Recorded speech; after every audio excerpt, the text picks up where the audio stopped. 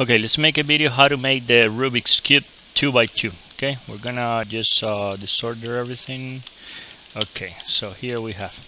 Now, basically there are three steps on this uh, Rubik's Cube. The first one you have to know, you cannot memorize, and then you have to memorize two steps.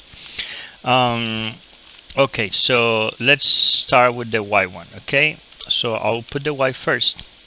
I mean, you know how to do the 3 by 3 that would help you a lot now those two whites you have to do the white and the first ring. So this is white blue white green. They cannot be together. I need to find a another white blue. So this one is the one that goes here. So what I will do is um, do this here. Okay. So I have white and the blues here now let's find the Y orange. This one it is. Okay, here it is. Done. Then here.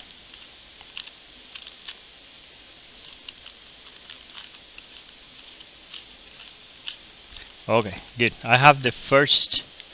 I have the top white and then I have the first ring. Uh, you see green, red, blue and orange okay now let's move on. When we have like this then we put the the ones we have done on the the bottom here it is and I'll do the follow algorithm. Right up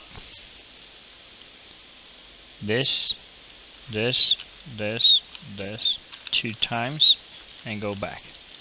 Now you see here I have uh, the yellow is the only one I'm missing. I have a yellow. I put the yellow in the corner here. And I go this this back again go up twice go down. You see now we have the yellow and we still have the white okay?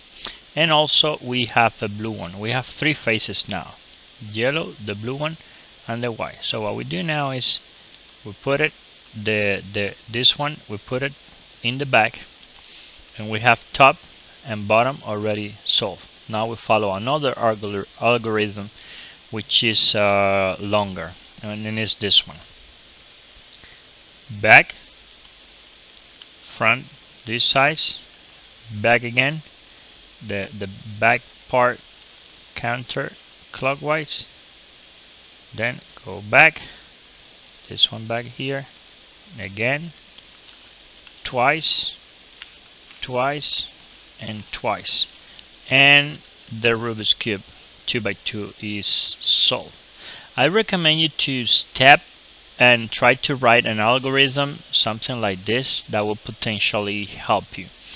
I did this one, but that's in, I did it for Spanish. So, but that's more or less the two you have to memorize and you have to know how to do one face with the ring. If you do that, and memorize those two, you're good to go. Thank you for watching and hope this uh, helped you solve the 2x2.